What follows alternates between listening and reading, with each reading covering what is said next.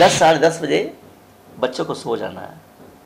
और चार साढ़े चार बजे बच्चों को उठ जाना। है क्योंकि बच्चे को पीटी में जाना है। हमें पावर को मापना हो शक्ति को मापना हो तो we call it horse power बच्चे जो चाहे वो कर सकते हैं। कहीं वो प्रतिबंध वहाँ पे नहीं कि तुमको यही काम करना है। कोई काम छोटा नहीं होता है। जो काम करो उसे पूरा दिल लगा दो। नमस्कार, आप लाइव सिटीज़ देख रहे हैं, मैं हूँ गरिमा भारती। बात हम बिहार के स्टूडेंट्स की करने जा रहे हैं और बिहार के उन खास स्टूडेंट्स की भी करेंगे, जो बहुत अच्छा परफॉर्म करते हैं।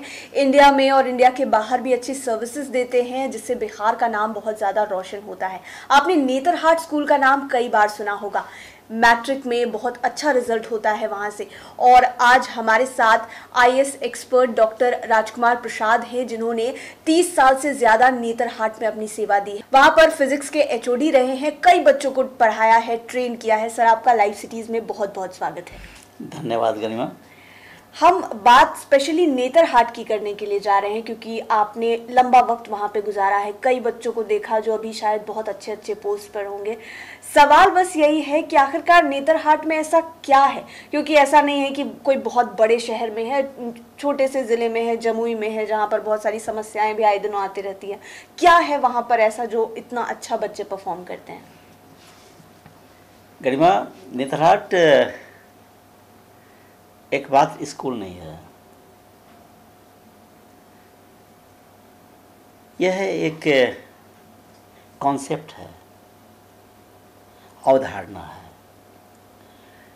और इस अवधारणा के मूल में गुरुकुल पद्धति है। गुरुकुल सिस्टम ऑफ़ एजुकेशन हालाँकि समय के अनुसार बदलाव है। जी। हम नेत्रहाट स्कूल के साथ जो मॉडर्नाइजेशन है उसे भी लिया है उसे अस्वीकार नहीं करते हैं।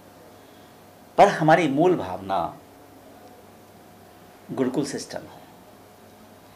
मैं बता दूँ कि हमारे स्कूल का जो आधारशिला है जी। जो मोटो है अत दीपा विहिरत अपना दीपक स्वयं जलाओ। तो जिसकी अवधारणा ही कि अपना दीपक स्वयं जलाओ।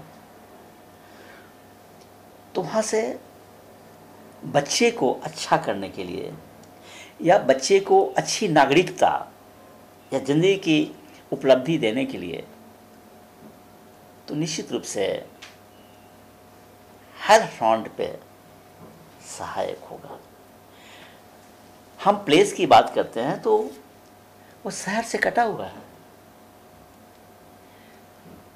Netarhat school so called a concept ये रांची मुख्यालय से लगभग एक सौ पैंसठ किलोमीटर दूर है और ये 4000 फीट की ऊंचाई पे है। वर्षा भी ज़बरदस्त होती है। कक्षाएँ भी बाधित होती है वहाँ। कभी कभी बिजली की समस्या भी हो जाती है। जाड़ा तो ऐसा कि काफ़ी ठंड। हाइट पे है तो ठंड। हाइट में? कि पानी में हाथ डालो तो लगेगा कि वहीं से हाथ डिटैच हो गया। तो ये जो जोग्राफिकल लोकेशन है आर्ट स्कूल का है अपने आप में वरदान है।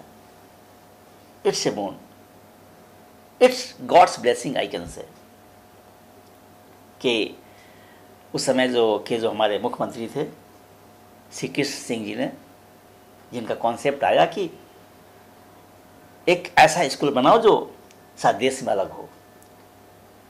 और एक ऐसा इंजीनियरिंग कॉलेज भी बनाने की बात आई थी, जो देश से अलग हो, जो आप बी आई टी सिंधी के रूप में जानते हैं। क्योंकि उस समय ज्वाइंट प्रोविंस में दो आईआईटी नहीं हो सकता था। अब नितार विद्यालय की बात जब आते हैं बात आती है तो जगह तो एक वरदान है। और मैंने कहा कि गुरुकुल सिस्टम गुरुकुल सिस्टम का मतलब ही होता है कि बच्चों की केयरिंग टीचर्स के द्वारा वहाँ टीचर नहीं कहे जाते हैं श्रीमान जी कहे जाते हैं। अच्छा सर नहीं कह सब नहीं कहा जाता है। उनकी पत्नी माता जी होती हैं मैडम नहीं। तो आप सोच लो सर और श्रीमान जी। कहने की एनर्जी लेवल में फ़र्क आएगा। ऊर्जा स्तर में फ़र्क आता है। सर बोलते हो तो मुझे लगता है कि ये काफ़ी एनर्जी कंटेंट ज़्यादा इसमें। है और आप जानो कि जब एनर्जी की सिस्टम में बढ़ जाएगा तो अनस्टेबल होगा। तो हमारा संबोधन ही, हमारा इतना गंभीर है। इतना लो एनर्जी के साथ है कि उसमें स्टेबिलिटी तो होगी। श्रीमान जी, माता जी। अब हम आते हैं कि वहाँ की व्यवस्था की बात हम करते हैं। तो वहाँ का रूटीन तो एक मुझे लगता है कि वरदान है। और यदि संभव हो तो मैं पूरे देश से अनुरोध करना चाहूँगा कि लतहाट के रूटीन को अपनाएँ। जहाँ बच्चों के ज़िंदगी की शुरुआत साढ़े चार या पाँच बजे सुबह से होकर दस साढ़े दस बजे तक ही चलता है। अच्छा। दस साढ़े दस बजे बच्चों को सो जाना है और चार साढ़े चार बजे बच्चों को अच्छा। उठ जाना है क्योंकि बच्चे को पीटी में जाना है। और आपको मैं बता दूँ कि बच्चे पीटी में जब जाते हैं तो पीटी में जाने से पहले भी खा सकते हैं या बाद में भी खा सकते हैं, उनको चना गुड़ दिया जाता है खाने के लिए। तो आप जानते हो कि चना किसका खाना होता है? हॉर्स पावर का। हॉर्स पावर भी हम क्या कहते हैं? हमें पावर को मापना हो, शक्ति को मापना हो तो we call it horse power फिर बच्चे पीटी में जाते हैं। पीटी के बाद आते हैं, तैयार होते हैं, स्नान करते हैं, फिर अपना काम बच्चे स्वयं करते हैं। अच्छा कहा जाता है कि कोई केयर टेकर जैसा कुछ वहाँ पर नहीं है बर्तन खुद से धो शौचालय खुद से साफ़ करो तो ये सारी चीज़ें भी फैक्टर है कि लोग एकदम आत्मनिर्भर हो जाते हैं आप, आपने सही कहा मैं गरिमा कि ये बहुत बड़ा फैक्टर है क्योंकि वहाँ डिफ्रेंसिएशन नहीं है। वहाँ पे आश्रम कहते हैं हॉस्टल नहीं है वहाँ पे। अच्छा। वी कॉल आश्रम रमन आश्रम अशोक आश्रम साकेत आश्रम नालंदा आश्रम जितने भी बड़े लोग हैं वो साइंटिस्ट हैं या फिर कोई भी हमारे सोशल फ़ील्ड से बिलोंग करते हैं रिलीजियस फ़ील्ड से बिलोंग करते हैं उनके नाम पे है। तो वहाँ पे आश्रम कहलाता है। और एक आश्रम में बताऊँ आपको कि ट्वेंटी फाइव स्टूडेंट्स ही रहते हैं। अच्छा। पच्चीस ही स्टूडेंट रहते हैं एक आश्रम में। और एक आश्रम को देख रेख करने के लिए वहाँ पे जो शिक्षक होते हैं वो आश्रम अध्यक्ष कहे जाते हैं।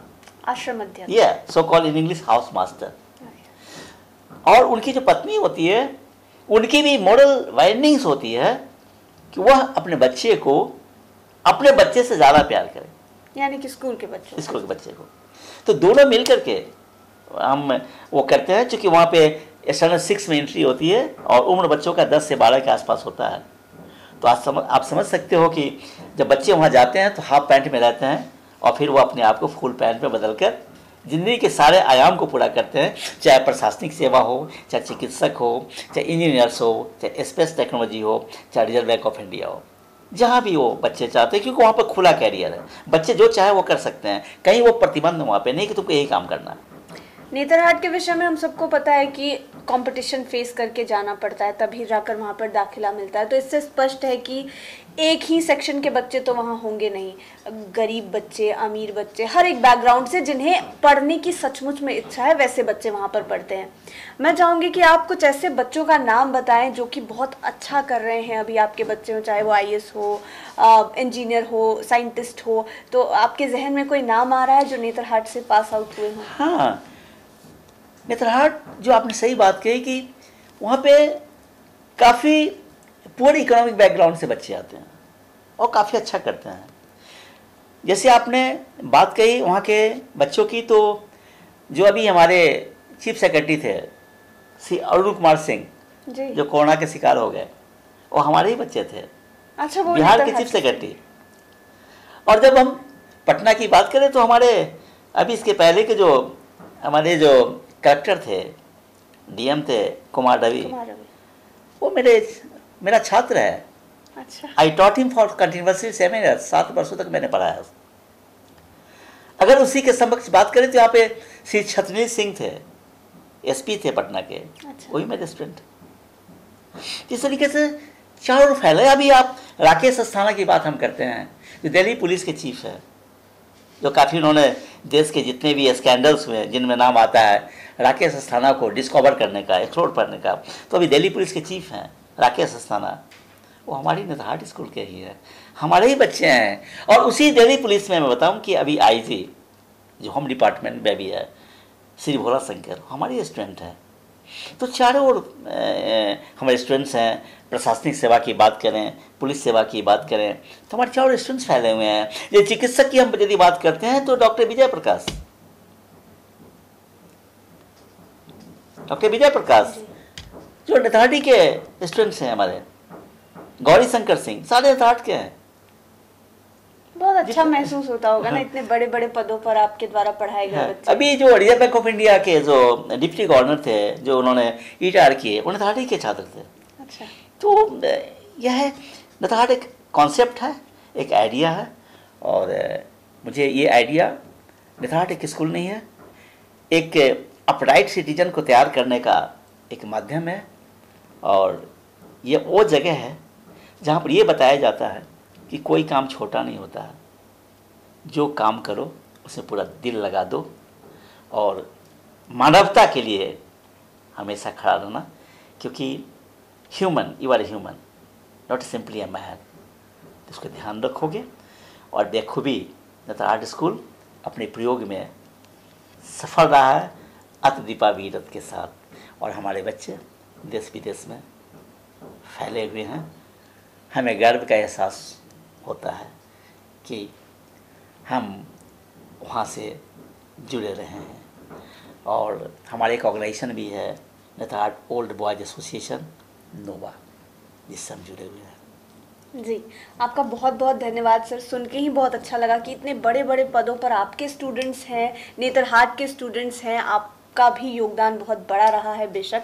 तो आप लोगों ने भी जाना कि आखिरकार नेतरहाट स्कूल में ऐसा क्या खास है कि वहाँ के बच्चे इतना अच्छा हर साल परफॉर्म करते हैं, इतने अच्छे अच्छे पदों पर काम कर रहे हैं, क्योंकि जैसा कि सर ने हमें बताया कि वहाँ पर गुरुकुल वाला नियम होता है, स्कूल के बच्चों की तरह उन्हें ट्रीट नहीं किया जाता है हर काम खुद से करना पड़ता है और अलग अलग क्लाइमेटिक कंडीशंस को देखते हुए भी उन्हें कड़ी मेहनत करनी पड़ती है, तब जाकर अच्छा रिज़ल्ट हासिल कर पाते हैं। उम्मीद है कि आने वाले समय में बिहार में और भी स्कूल्स ऐसे हों जो नेतरहाट की तरह बन सके और बिहार के कई बच्चों को इसका लाभ मिल सके। न केवल बिहार, बल्कि देश के अलग अलग हिस्सों के भी बच्चों को इसका लाभ मिल सके। लाइव सिटीज़ के साथ आप बने रहें, हमारे चैनल को सब्सक्राइब करें। ये वीडियो फेसबुक पर देख रहे हैं तो पेज को लाइक करें।